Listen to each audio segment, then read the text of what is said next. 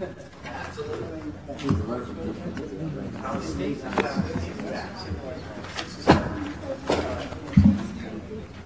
the same bill we killed last week. Is the individual with the Archbishops Association here? Uh, I think his name is Abramson. Could you come here, please?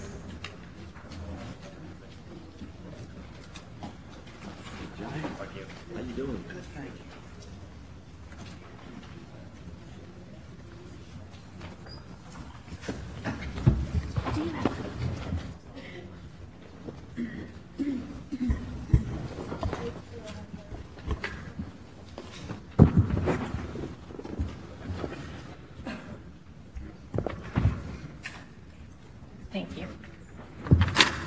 Okay, Representative Labruzzo.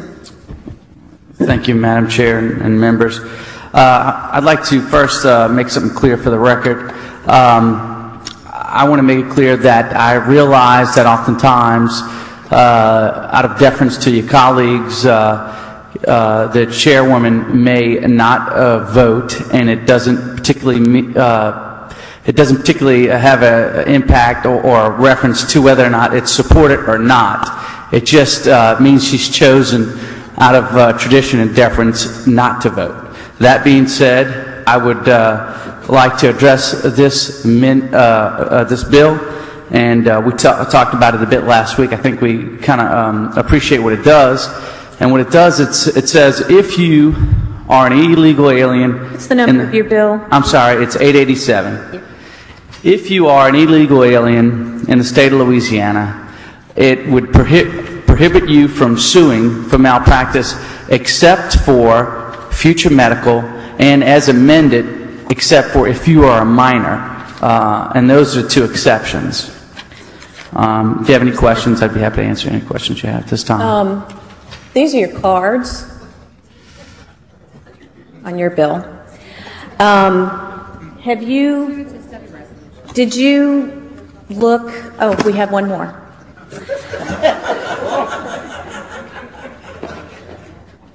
Have you looked at the constitutionality of this bill at all? Um, I, of course, I'm not an attorney, but being advised by the staff attorneys, at no time did anyone uh, tell me or, or direct me that this bill would be unconstitutional. We've passed uh, similar bills like this in this session and in previous sessions that uh, prohibit illegal aliens from enjoying many of the same rights that we do as citizens. Like what? Um, uh, let me, I can't think of any right this time. I just know we've passed some in the past, and uh, I don't recall any. well. And are you me- let me- familiar with the 14th Amendment of the United States Constitution? I'm not as familiar as you are, Senator, as an attorney. It says, "No no state shall deprive any person of life, liberty, or property without due process of law, or deny to any person within its jurisdictions the equal protection of the law." Do you know what the definition of a person is under federal law and state law? Why don't you fill me in on that? It's an individual, partnership, unincorporated association, stock company, uh, but it's an individual. Do you consider illeg- illegal aliens individuals? Under, under the law of, as far as rights, I would say no, not under the, these, uh, this, this bill. So an illegal alien is not an individual. You, you asked me if I, I thought so. That's what I said. According, I'm sorry. According to you, you don't think an illegal alien is an individual. Um, Let, let me, let me, uh, let me back up a little bit. And, and I, I appreciate the fact that we're having a good time. This is, this is a long day and it's great to ha- have some fun. yeah, I figured we could have some comedic intervention between all of the. I, I think it, I think it's great. But this is what I what I think also. I represent a lot of constituents, as do you, and um, we pay a lot of taxes and services for people in our own state. And then you and I have to make decisions every day as to whether or not we're going to spend more money on health care, or more money on education, or more money on other services. Anytime that the state of Louisiana is sued in a med mal case, whether it be a charity, mostly the charity facilities, That money comes right out of the general fund. So that's less money that we had to spend on roads, on education, on health care for our own constituents, our own citizens that are born in the United States and participate in our state, uh, uh, in the state of Louisiana and pay taxes. Now, my bill is simply to say that we should give deference and consideration to our own constituents, people that are in Louisiana legally, who pay taxes and participate in the process legally. I think that we should, as citizens of the United States and of Louisiana, realize that when someone's here illegally, that they shouldn't enjoy the same rights as legal citizens. And that's all this bill de- deals with. And uh, many of our constituents feel the same way. In fact, Representative Labruzzo, I think you came to me after the last bill and asked me if I realized that this issue polled number one in now Congressman Scalise's poll, correct? It's true. This is a very, very important issue, not just particular issue, just Ill- illegal aliens in, in general. Mm-hmm. And the illegal issue is very important to people in Louisiana. So while I would agree with you that it's very important, as legislators, do you think it's incumbent upon us to do things that are legal and constitutional? Yes, I do. But I, also think that if there's some uh, ambiguity, we should go ahead and do what we feel is right by the constituents Well- and let the courts decide. Let me clear up, clear up that ambiguity. Um, not only under the United States Constitution, but under the Louisiana Constitution, let's go to the Louisiana Constitution. There are two kinds of persons, natural and juridical. Natural is a human being, okay? So do you think an illegal alien is a human being? Sure, absolutely. Okay, well, we agree on something, so at least you think illegal aliens are human. Access to courts. Under the Louisiana Constitution, every person, which means a human being, shall have an adequate remedy by due process of law for injury to him, his person, or property. There is a United States Supreme Court case which states that an injured party's cause of action is a vested property right, which you can't take away without due process of law. Excuse me, Senator. I think last time we were here, you had made an argument uh, for my bill in saying that you felt that for a citizen, we can intervene in their uh, property rights, but for an illegal, we couldn't. And you felt that that was un- fundamentally unfair, if I rem- remember correctly. Maybe you can refresh my memory what you were referring to. Sorry, I honestly didn't understand what you just said. Um, Now I'm going to read the cards. We have Joe Donchess in support and would like to speak, and Ron Gu in support, does not wish to speak. Mr. Donchess. Thank you, Madam Chair, members of the committee. I'm Joe Donchess with Louisiana Nursing Home Association.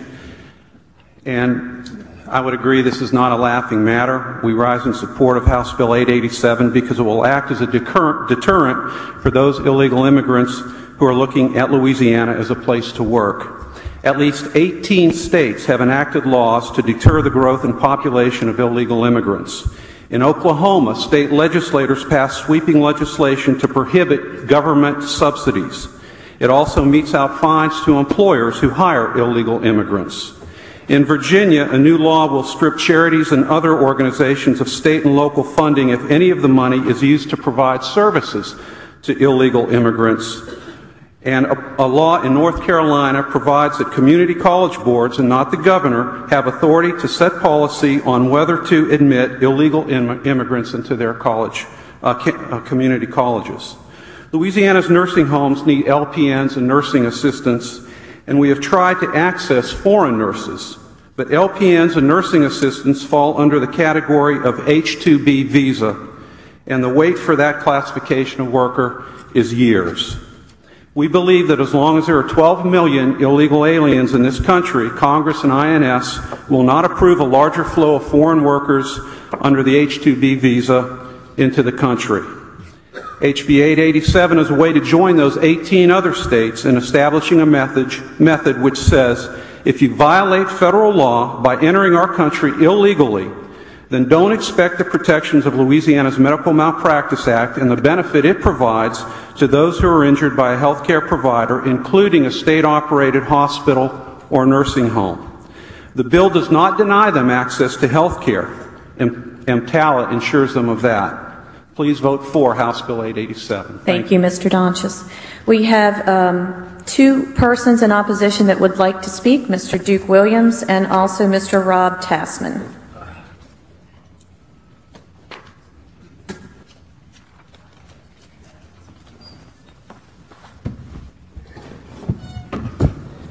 Thank you, Madam Chairwoman, members. My name is Rob Tasman. I am the lobbyist for the Catholic Bishops of Louisiana. I spoke with you briefly last week about many of the issues that this bill has within it. And I'd like to just touch upon those very briefly again. There's no sense repeating myself. Senator Quinn raised many of the constitutional issues that this bill has buried within it, and that is a huge issue.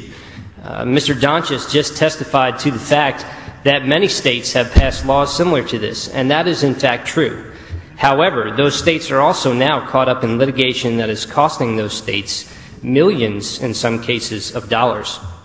Mr. John Donchess specifically mentioned the state of Oklahoma, and I'd like to tell you that in Oklahoma, what happened was the immigrant population left the state feeling that it was unfriendly, and the economy of the state of Oklahoma went to the tanks. Uh, I have a quote for you here from the only Republican member of the Oklahoma State Legislature who voted against those immigration bills. His name is Senator Harry Coates. And he said, You really have to work hard at it to destroy our state's economy, but we found a way. Representative LaBruzzo also spoke about taxes. I believe it was Benjamin Franklin who said there were only two things certain in life death and taxes. And there's a myth that undocumented immigrants do not pay taxes. According to the Immigration Policy Center, between one half and three quarters of undocumented immigrants pay federal and state income taxes, Social Security taxes, and Medicare taxes. And all undocumented immigrants pay sales tax and property tax even if they rent. In these cases, what usually happens is the amount of taxes that the undocumented immigrants pays is below the amount, excuse me, it far exceeds the amount of the services that they are claimed to be taking advantage of. So that is an issue as well. The Catholic bishops have opposed all the immigration bills that have come through the legislature this session. They believe in enforcement of federal laws, which are the immigration laws coming under federal jurisdiction, as well as an earned path to citizenship for the 12 million some odd undocumented immigrants who are already within our country. The church does not promote anything illegal. It does not wish for open borders. Rather, it believes that this issue and matter should be taken up at the federal level because it is those at the federal level who not only have the jurisdiction, but as well as the expertise to deal with this issue. Thank you. Thank you. Mr. Williams. Good morning, Senator Quinn. Just briefly, you've covered the const, uh, You constant. introduce yourself. Oh, I'm sorry. Get it on the- I'm sorry. Duke Williams, Louisiana Association for Justice. Thank you. Uh, I, I I won't go into the constitutional argument. I, I actually did a little bit of research on this issue, and I've come to the same conclusion for what it's worth. This bill is clearly unconstitutional. What it is, is political pandering, pure and simple. When any lawmaking body seeks through legislation to prioritize the value of human life or human suffering, we do violence not just to the Constitution, uh, but to ourselves. That's all I had to add. Thank you. Thank you, Mr. Williams. Thank you, Mr. Tasman. I'd like to read the cards in opposition, and then we'll uh, bring Mr. Representative Labruzzo back up. Marco Balducci with Catholic Charities in opposition. Ted Harmon, uh, defense attorney. Colette Pichon Battle, uh, an attorney. I can't read the organization. I apologize. I, something America. I'm sorry? Ox, Oxfam. Ox, spell it. O-X-F-A-M. Oxfam, thank you. Oxfam America. Can, we have, what does that stand for? Oxfam. Thank you. Ken Mayu with Catholic Charities of Baton Rouge. Um, we have that one already. Reverend Walter Bayer with Grace Episcopal Church and Louisiana Interchurch Conference of Baton Rouge. Colette Tipping, the Congress of Day Laborers. Jeffrey Little, a law clerk. Damian Ramos, representing Stand. Sheila Delgado, Ilana Sherrill, Lucas Diaz, Justine Diamond, Kara Zacks, Jeff Spencer with the New Orleans Workers Center for Racial Justice, Annie Gibson with Tulane, Marcel Bolu with Tulane, Enrique Varkla, Lanny Villabos with the Workers' Rights Initiative, Jill Forney with Puentes New Orleans Inc., Allison Bak- Bakam, Bakamjian with Puentes New Orleans, Emily Sala, a law clerk, Robert Caldwell, concerned citizens with property owners throughout the state, Leah Spivey, Miriam Grespo, Vanessa Stubbs, Haywood Talbert with Stand, Daisy Fairhorst, Maria Bermudez, Tamar McFarlane, Corrine Bart, Bridget Smith, Calder Lynch with AARP, and Mary Linda Francis with AARP. And we have two more. Oh, no, those are ones I read already. Uh, Senator Murray, you had a question? Uh, Representative Labruzzo, you want to come back up? I just, I, I stepped out and maybe you covered it, and if you did, don't worry about answering again. But I, last week you said that there were uh, a whole bunch of hospitals where 80% of the beds were taken up by illegal immigrants, and I asked you then. I didn't say that. Well, you did. I said, You I did didn't say say a whole bunch of hospitals. I said I was told by a colleague of mine, Joe Harrison, that he said his hospital had that Uh, problem. once I asked you to name some, you, you then you said there was one man, Houma, but before that you said there were a bunch. Well, I, Okay. I, I clarify it. What I'm, what I'm going to state now is Joe Harrison told me he had a problem with this in his hospital, and those were the numbers he gave me. So Okay. I'll, I'll, that's what I submit. Okay. Okay. Um, who? Labru- Representative Labruzzo, would you like to? I'd like to close, sure. And we had a lot of Catholic uh, um, representation here stating how they uh, were against the bill. I went to a Catholic school most of my life. And when I was taught by the Brothers of the Sacred Heart were to follow the rules, follow the law, you know, obey what is is right and, and, and don't cheat and don't steal and don't rob and, and whatever the law is and the rules, play by the rules. That's what I was taught my whole, uh, my whole life. And I think it's, it blows my mind to hear the same people that educated me come up here and say that, you know, we shouldn't follow the rules. We shouldn't we should make exceptions. We should not abide by the law, or we should turn a blind eye to what the law says. And, and that's in regards to having people uh, in our state illegally. Um, and that's, that's basically all I'd have to say on com- in closing. Thank you.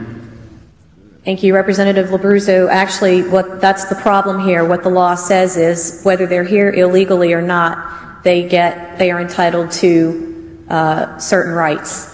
If we don't like that, that's a different issue, and we can change the Constitution. My real offense to this is I think you've brought this bill for political reasons. In fact, I've been told by several people you were laughing on the House side and at Ruth's Chris Steakhouse about the five people that voted against it in the House, and you have their names, and y'all are going to be able to use this against them the next campaign. So you put a I don't thought recall that. I don't recall that, and, Well- and I, I take offense that you would even say something like that. Well, That, that didn't take put place. That did not take place. Okay, that's Your testimony is it didn't take place. You That's a fact. That's not my testimony. That's a fact. It did not take place. Well, there's other testimony that it did. Oh, well, have them come here and testify on the record and saying that they, it did, and let's talk you about put us in a bad spot because no one here wants to take an illegal alien's rights over a United States citizen. But the bottom line is we're stuck with what's provided in the United States Constitution. And we can't waste taxpayers' money in litigating this. And that's what you've done today. Without thinking about whether this was legal or constitutional, you want us to pass something that's unconstitutional and illegal so then we can Senator fight. Quinn, we have plenty of attorneys here that are very capable and competent attorneys. Not one of them, in drafting this legislation for me, advised me that this bill needed to be redrafted or rewritten in any way because it was unconstitutional. Now, either the staff here has issues, which I don't believe that's the case. I believe they're very competent staff. Or there's a question as to whether or not this is constitutional or not. And I think if there's a question, let's let the courts decide. But I believe we shouldn't allow our doctors and our hospitals and our nurses to be subject to, frivolous lawsuits uh, or not frivolous lawsuits and let them be sued by people that aren't even citizens. That's where this bill comes from. Regardless of anything else that's been said here, this bill comes from protecting our hospitals and protecting our doctors The problem is. who give free health care more often than not. Going to pass something that's clearly unconstitutional because it's popular. I'm just not going to waste taxpayers' money. If you want to change the Constitution, then let's talk about that. I move to defer, um, House Bill 887. I'm sorry, you're right. Um, Well, actually, uh, Senator Dupre is next. Senator Dupre. Thank you, Madam Chair. Well, being my hospital was mentioned just in passing, and Chabert Medical Center, I think we normally, we have about 80 beds in there that are operational, and 60 of the 80 people that's maybe in that hospital in day-to-day business are not illegal immigrants. I've checked with my uh, hospital administrator, that is absolutely not true. Now, there are frequent immigrants in the emergency room.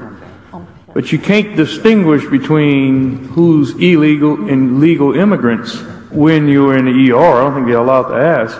The vast majority of them, because the Houma Terrebonne area has the lowest unemployment in the state of Louisiana, are legal immigrants working for these companies.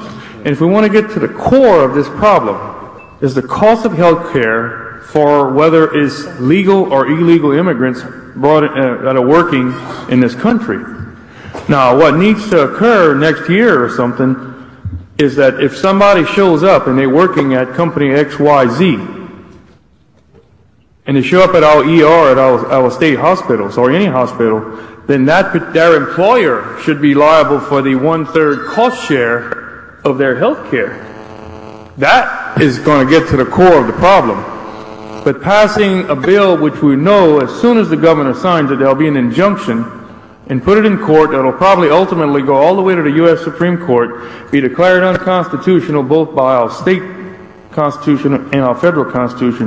It's going to cost mega millions of dollars just to make a political statement. Sure. Well, next let me- year, if you want to file a bill to force people who bring in immigrants, whether illegal or illegal, to sign up and pay for their share, the, the, the proportional one-third share of, of, of what we having to put up as state taxpayers, I think would be the wise You have, direction to go in. you have a great uh, point there, and with that, I'd like to voluntarily defer this bill. Senator Kostelka. Well, if, if he's voluntarily deferring the bill, I don't know that I need to have my say, but uh, I want to point out that I think this committee and Ms. Madam Chairman, I voted with you on several matters today, but I take umbrance also at, at, at you attacking a legislator in committee. That is not the function of this of this committee. It's not the function of a, of a uh, chairperson of a committee. If we want to debate an issue, we can debate it on the floor of the Senate. Uh, I have questions about the constitutionality and was prepared to vote uh, against this bill at one time, but now I would vote for the bill because I do just do not agree with the treatment that uh, Senator LaBruzzo has, or Representative LaBruzzo has received at the hands of this committee. Thank you. Senator Murray. I wanted to make a motion, but I thought you had already made one to defer, and I I don't know if you still need to do it. I have a motion to defer House Bill 887, to which we have an objection. If they would let me voluntarily defer it, I would, I would voluntarily defer it. Uh, I, I- I think, uh, I think I can count. Thank you. Thank you. Next, we have Representative, well, Representative Green has been... Nobody wants to come up. He was here and had the pot. He was here first today. I've been here since like 8:45. He was here, And he's the chairman of Ways and Means. yeah, thank